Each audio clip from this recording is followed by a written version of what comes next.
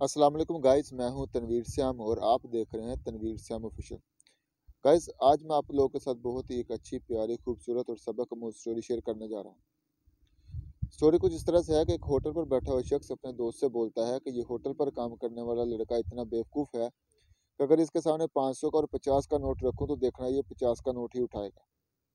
वो थोड़ी देर के बाद लड़के को आवाज़ मारता है और उसके सामने दो नोट रख देता है।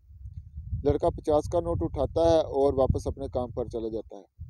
वो शख्स अपने दोस्त के साथ मिलकर कहका लगाता है, खुशी मनाता है, खाना खाता है और चला जाता है। होटल पर बैठा हुआ तीसरा शख्स ये सब कुछ देख रहा होता है। उस लड़के के पास जाता है और पूछता है क्या तुम्हें पाँच सौ का और पचास का फ़र्क नहीं पता?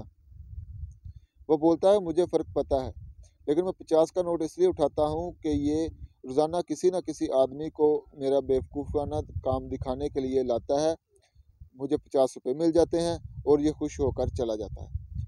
जिस दिन मैंने पाँच सौ का नोट उठा लिया, मेरी आमदनी बंद हो जाएगी और ये खेल भी ख़त्म हो जाएगा।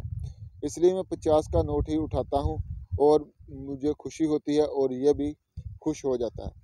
तो कहानी सुनाने का मकसद बस इतना सा है कि ज़िंदगी में कभी भी बहुत होशियार, खिलाफ और समझदार बनने की ज़रूरत नहीं होती।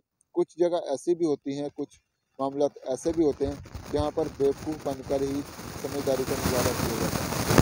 तो अगर आप अपनी लाइफ में इस तरह के समझदार हैं तो आप बहुत जल्दी आगे और कामयाब होने वाले हैं। तो कोशिश करें कि हर जगह पे अपनी समझदारी को इस्तेमाल मत करें और अपनी ज़िंदगी को एंजॉय करें।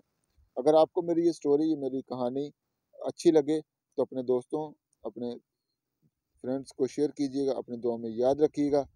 इस पेज को लाइक फॉलो और कमेंट ज़रूर कीजिएगा। अल्लाह हाफिज़।